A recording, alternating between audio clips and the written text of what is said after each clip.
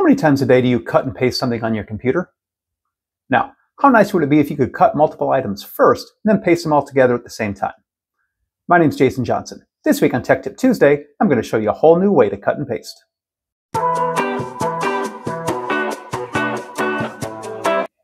Everyone's familiar with Shift and V to paste something.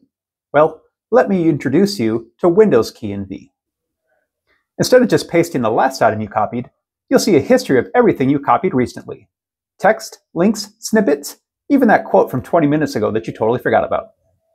This can be a huge time saver when you're working on a project and you need to move multiple items from one place to another. No more back and forth.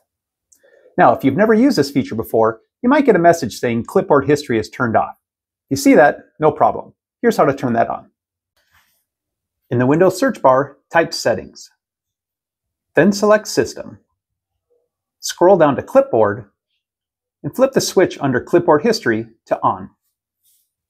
Items will stay in your clipboard history until they're overwritten, which has a maximum of 25, or until you restart your computer.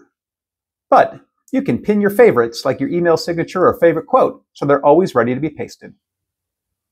So the next time you're juggling a dozen copy and paste tasks, remember, Windows Key and V has your back and your clipboard history. We'll see everybody next week. And remember, no matter what you do today, just be awesome.